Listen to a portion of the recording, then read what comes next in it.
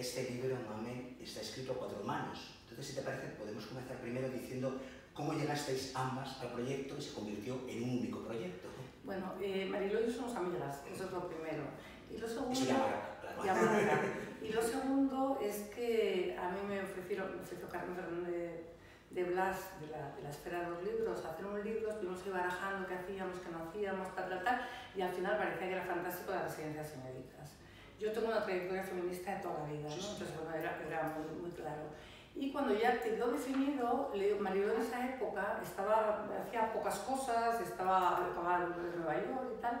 Y oye, ¿no te apetecería hacer conmigo este libro? Y me dice Maribel, si a la editorial no le importa, yo encantada. Le pregunto a Carmen, Carmen fue encantada de hacerlo y así empezó.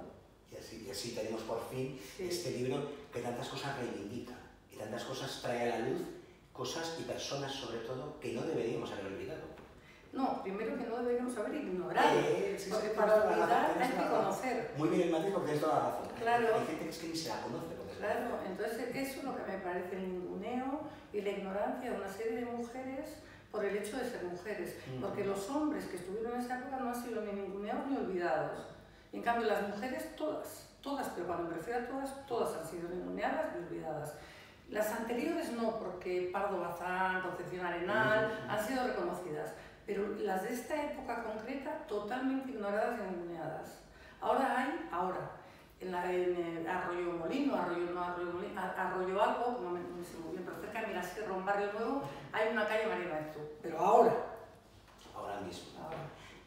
Por cierto, la, la labor de María de Maeztu, que no podríamos entender, no se entiende el mundo actual y no se entiende el feminismo actual y la mujer actual sin, sin ir a la obra de María de Maeztu. No, y no se entiende la educación en España, ya no solo de la mujer, so- sobre todo de la mujer, pero la educación en España sin ir a la pedagogía de María de Maestro. Una, una, una mujer, una mujer volcada en su vocación Pionera, y que trajo a España eh, sistemas educativos desconocidos, que ella los trajo de Londres porque estaba su hermano allí embajador, Sí. o de las conferencias que dio en Alemania, o los colleges de Estados Unidos. Es decir, trajo una serie de métodos de enseñanza que no tienen nada que ver con el aprendizaje que se utilizaba en España, era mucho más práctico, y lo trajo ella. A mí me gusta uno de los momentos que recogéis una carta que envía a los padres de una de las alumnas y es fantástico. O sea, como, como, como le dice un poco, eh, mira, un tema que de un modo u otro seguimos hablando hoy en día, ¿no? Mire, mm, nosotros la estamos educando y enseñando y convirtiendo de verdad en mujer que piense y que actúa por sí misma. No necesita que, que en casa la coarten ni la, la refrenen, ¿no? Bueno, y lo que hacía con las, con las niñas que, que los padres no querían que fueran a la universidad, que también está recogido, entonces ella decía, bueno, aunque estudien aquí en la residencia y vayan solo a examinarse, tienen el contacto con la universidad, con el mundo universitario, y eso se lo van a transmitir ellas, ellas a sus hijos.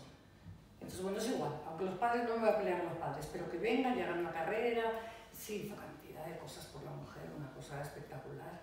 Y luego es que además cuando a veces eh, utilizamos mal o con otro eh, sentido eh, o, o desconocemos de dónde vienen palabras, términos y ideolo- ideologías, corrientes de pensamiento como el feminismo, hay que recurrir a María de Maeztu para entender lo que de verdad es el feminismo. Luego, lo que a veces se llama así es una cosa muy distinta. Esto sí es Esto es feminismo. feminismo.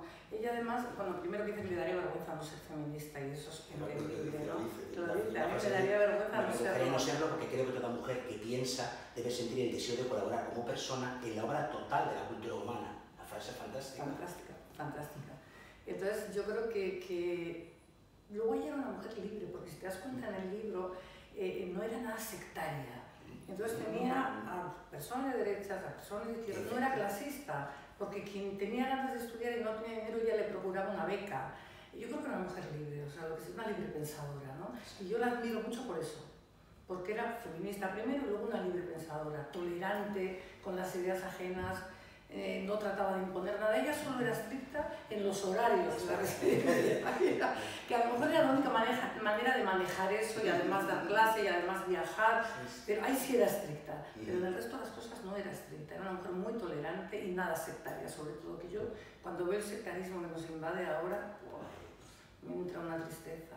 Porque ella, ella entiende eso, eh, eh, entiende la comunicación, entiende el diálogo, entiende la convivencia. Pero fíjate tú, entre Victoria Kene y Clara Campoamor, por ejemplo, con dos puntos tan diferentes de vista sobre un mismo asunto, pues ahí estaban en la misma residencia dando conferencias, estudiando, y no pasaba nada. Ni se pegaban, ni se, ni se odiaban, ni se dejaban de hablar, nada. Utilizaban la dialéctica. Claro, el diálogo. Cada una exponía, explicaba por qué, argumentaba. Ya está. Y, y Ya ahí, está. ahí. Y, Luego, afortunadamente para la mujer, ganó Clara Campoamor en el Congreso y consiguieron el voto. Pero bueno, ahí estaban con diferentes puntos de vista, siendo las dos feministas. Pero una no desacreditaba a la otra, no le decía, ah, tú eres menos feminista que yo, porque tú no no sé qué, porque no, no, no, estaban No se trataba de, de, dar, de dar medallitas, sino de, de actuar, de actuar, de pensar. cada una con su punto de vista y lo defendía honestamente. Por cierto, ya que, que nombras a, a mujeres tan admirables como, como Victoria Kent, como Clara Campoamor, antes de grabar la entrevista, es que al- alrededor de María Maeztu, gracias a ella, junto a ella, es que aquí hay mujeres para varias enciclopedias. Es que se juntó una generación irrepetible, pero irrepetible de verdad, ¿eh? la generación del 14 esa es irrepetible, de mujeres con ímpetu, con coraje. Por ejemplo, Beatriz Oyarzábal, cuando le mandan a estudiar, porque era, la verdad es que era una élite también, es verdad, porque teníamos un país con un 82% de analfabetos.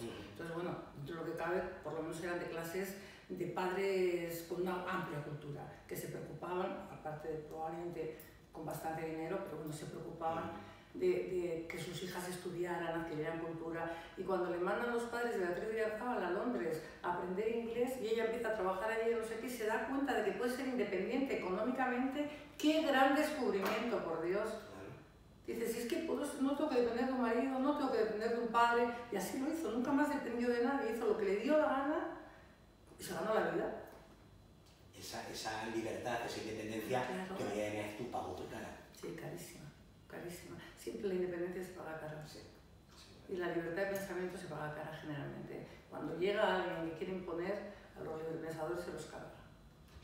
También imagino que tuvo que ser complicado poder sintetizar esa época, esas mujeres, en, esas páginas, ¿verdad? Porque sobre todo- tendríais mil posibilidades. Es que no sabes, han sido dos años de trabajo, ¿eh? o sea, hemos trabajado y, y luego al final, pero siempre te da una pena horrible porque tienes que desechar un montón de cosas. Y te da una pena desechar porque dices, con lo que me ha costado conseguir esto, ahora lo tengo. Pero bueno, al final un libro es eso, ¿no? Tienes que ser capaz de, de sintetizar lo que te parece más importante. Tú decías hace un momento, es que cada una se merece un libro. Entonces, claro, lo que tienes que hacer es ir quitando de la vida de cada una para centrarte en María de Maeztu y te da pena, ¿no? Porque cuando descubres que es Vitorina Durán, o Beatriz Oyarzábal, o Lejárraga, o cualquiera de ellas, es que se merecen un libro. Sí, sí. Lo que pasa, lo que pasa es que es fantástico porque de esos libros que abren ganas de leer, de conocer y, y- de seguir tú ya como lector buscando otras vías. Sí. O- o reclamando otro tipo de libros, tipo ¿verdad? sí, sí. Que, que- que hablen de esos personajes, como decías tú. Otra cosa costosa para mí en el libro ha sido Madrid, porque claro, la mayor parte de, la, de las novelas transcurre en Madrid. Y yo soy de San Sebastián, no soy de Madrid, y Marilo Estella. Y entonces, claro, al final había que ver el callejero de esa época. Las esquinas, todo- claro, claro, claro, dónde estaba el, el hipódromo, dónde estaba, no sé qué, dónde estaba el casino, si había casino, si La verdad es que esa es una parte, gratificante, pero que también ha habido que, que estudiarla, ¿no? A mí una cosa que me gusta muchísimo porque es eh, cómo le dais voz a María de Nactu y a algunas de las otras mujeres, pero sobre todo, como decimos, a ella, esa columna vertebral que era Sí, importante en el libro, claro. y, y- y le dais voz y habla en primera persona. Y, se- Claro. y- y se explica y se expone ante el lector. Claro, porque está bien, a mí eso me parece que es importante también, porque la- quien lee se está imaginando el personaje, ¿no? Era, un era, era pequeñita, Sí, era- buscado por ahí claro, con, con esa fuerza interior, parece mentira que fuera pequeñita, porque yo me acuerdo cuando se, lo contamos también, cuando se impone a Castillejos, porque dice Castillejos que, que, bueno, que estudien farmacia, bueno, que estudie magisterio sí, pero que otras habilidades, pues que no. Y entonces ella le echa un órgano y dice, bueno, pues entonces yo me voy. O sea, que es una mujer pequeñita, pero imponía, cuando creía importante algo, ella lo imponía. Hay un capítulo que me, bueno, en general todo, porque hay, hay muchísimas cosas que hay que anotar, que apuntar, como digo, que, que luego tú como lector seguir investigando como persona, Sí. est- estando como ciudadano, pre- preocupado y, creyendo de verdad en la, en la igualdad que alguien como María de Maeztu reclamaba. Precisamente habla de ese, eh, del feminismo militante, que ahora por desgracia, como decimos, cuando se malutiliza la palabra, se ponen a, a- algunos, sobre todo algunas, porque el feminismo, ba- bajo ese ala, lo malinterpretan y provocan que los demás lo ataquen, Semagüey defiende la esencia del feminismo y lo dice militante, no puede ser de otro modo.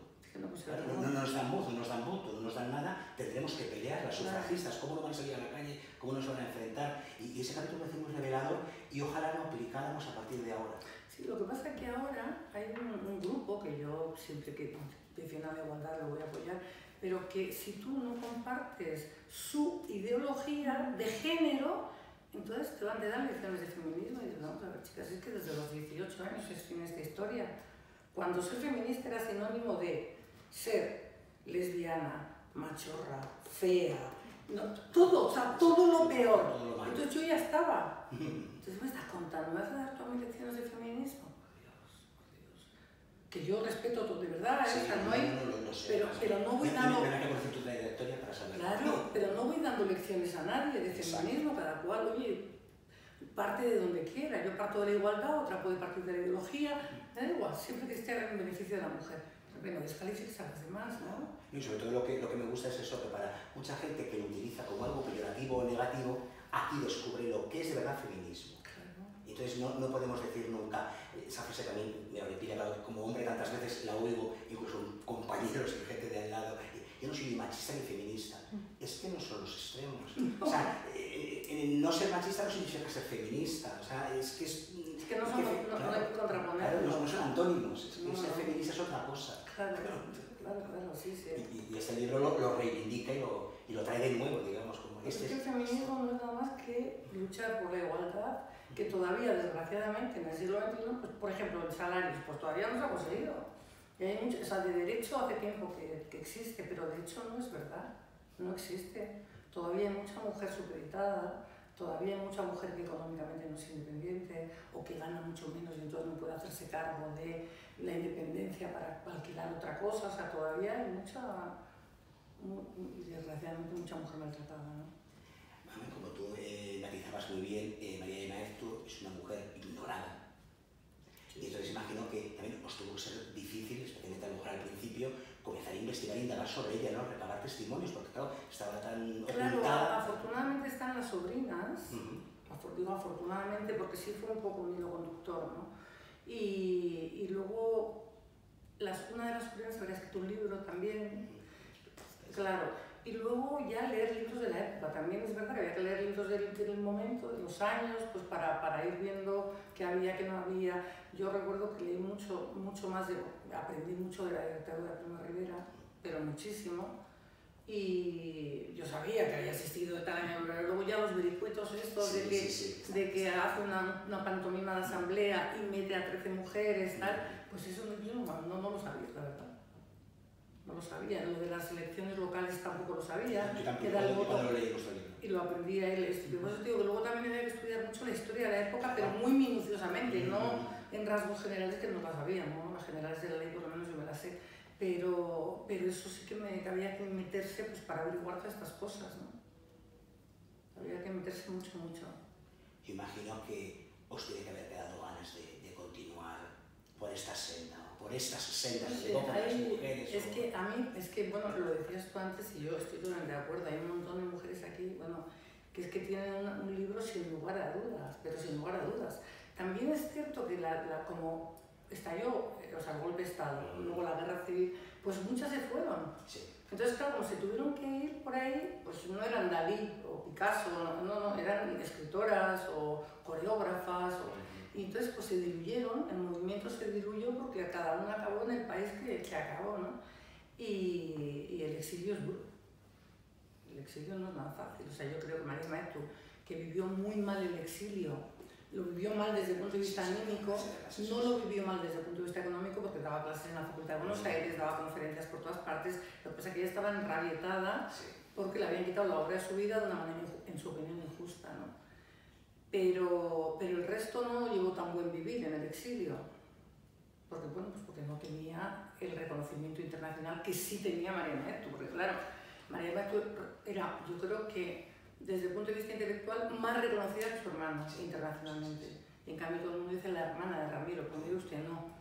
intelectualmente, como conferenciante, como mujer culta, como pedagoga, estaba reconocida en todo el mundo. Eh, él, él, sería el hermano de María. Claro, claro. Lo que pasa es que eso en este país es impensable, pero... Y yo creo que, eso, que, ese movimiento tan importante de mujeres, que yo en la generación del 14, se diluyó en el exilio. Hay una última cosa que me gustaría eh, comentar, que es precisamente cuando hablamos de la obra de María tu residencia de señoritas, pero también contáis lo del nombre de la residencia, claro. también tanto se llama lo del lenguaje inclusivo, pues como ya también era pionera en eso, es decir, las cosas se llaman por un nombre. Y por eso era residencia de señoritas estudiantes, así era, porque no podía poner residencia de estudiantas entonces, con la residencia de señoritas, estudiantes. Y además eso remarcando que son estudiantes, gente que viene a estudiar. Claro, sí, sí. Pues la verdad, Mamen, muchísimas gracias, porque creo que la labor que habéis hecho con este libro es impagable. Bueno, no sé, pero yo creo que es una aportación importante, sobre todo en la lucha de la mujer por, por, la igualdad, ¿no? Y, y, esta es una pionera, evidentemente. Entonces yo creo que sí que es un, un apunte importante. Gracias. No, gracias a vosotros.